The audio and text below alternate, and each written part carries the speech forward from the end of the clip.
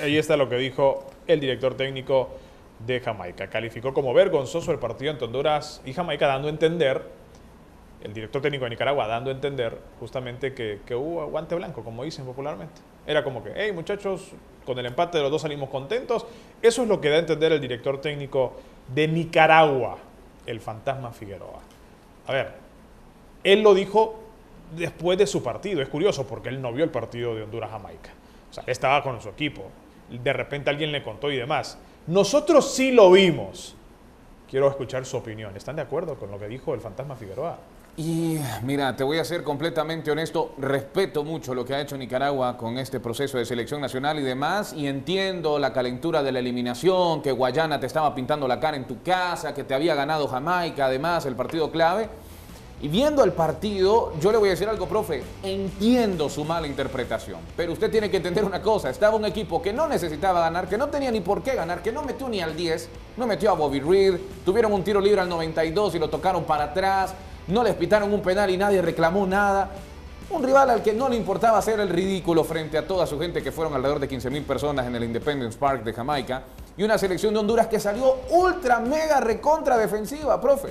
No es que Honduras no lo buscó, es que Honduras no pretendía que pasara mucho en el partido. Entonces, para mí no es que hubiera guante blanco. Para mí lo que sucedió es que, sinceramente, Honduras no buscó demasiado, en demasía el arco de Jamaica y Jamaica estaba de lo más tranquilo con el resultado. Arnold Cruz, quiero escucharlo. Con mucho respeto para mi ex compañero del Club Atlético Morelia, el Fantasma Figueroa. Eh, primero que se preocupe por su equipo, ¿verdad? ¡Tú! Estuvo en. Eh, jugó contra el último lugar y no le pudo hacer. Bueno, iba perdiendo. Pues, Exacto. Necesitaba ganar por goleada y no logró hacer. Exactamente. y él, eh, igual que, que yo, de los 80, de los 90, de los 2000 pero también hay estrategia. Yo creo que él ¿verdad? usa también algunas estrategias para no perder o si no, eh, como se llama, para ganar.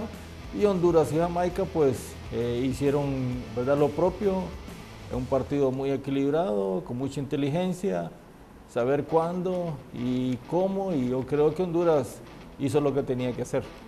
Así que, de técnico a técnico se le está diciendo, de, de, entrenador a entrenador. ¿cómo se llama? Utiliza ciertas técnicas o sino estrategias para que, para que no te ganen o al mismo tiempo para ganar. Entonces, como él solo le pudo meter tres goles al último lugar del grupo, entonces por eso es que está haciendo eh, cosas que no. Diego Vázquez, Copa Oro 2023 te, saqué de contexto. ¿Qué tiene que ver, Diego? O sea, a ver, terminalo, porque ¿qué, estás diciendo? Copa Oro 2023, Diego Vázquez, dirigiendo a la selección nacional de Honduras. Honduras estaba consiguiendo su resultado y necesitábamos que México ganara su partido, ¿se acuerdan? Contra Qatar.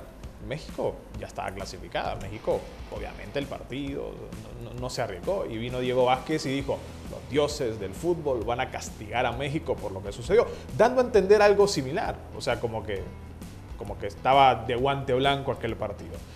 Yo a lo que voy es que, y, lo mencioné hace poco, claro, a mí no me gustó la postura de Honduras principalmente en el segundo tiempo. Yo creo que hay que atreverse un poco más a buscar el triunfo, pero entiendo el tema del resultado. Te está jugando la clasificación a la siguiente etapa. Entonces, si el partido va 0-0 al minuto 88, que no piense el fantasma Figueroa que Honduras va a lanzar a todos sus jugadores a buscar el gol del triunfo, porque no tiene la necesidad de hacerlo.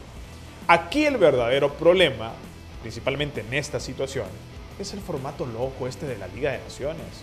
O sea, dos selecciones estaban peleando por un cupo y estas dos selecciones no se enfrentaron entre sí. Hablando de Honduras y Nicaragua.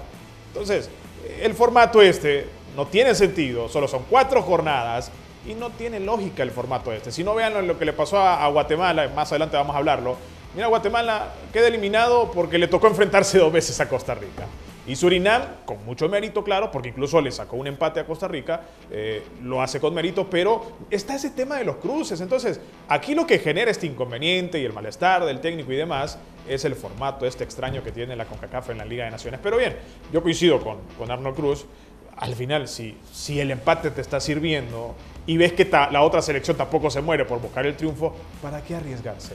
¿Para qué arriesgarse? Entonces, lo que dijo el fantasma Figueroa fue lo mismo que dijo Diego Vázquez en aquella Copa Oro 2023. Y es que al final Lo es mismo. comprensible, neta, pero recordé que al final tuvo dos partidos contra Guayana, la selección de Nicaragua, uno contra Cuba, ahí tenías para hacer nueve puntos y eliminar a Mundo y Raimundo y ni siquiera tener que preocuparte por lo que hicieran Honduras y Jamaica. Así que a seguir trabajando, a seguir creciendo, que hizo los mismos puntos que Honduras, solo le faltaron un par de golitos. Me recuerda Honduras 11, San Vicente 1, Ah.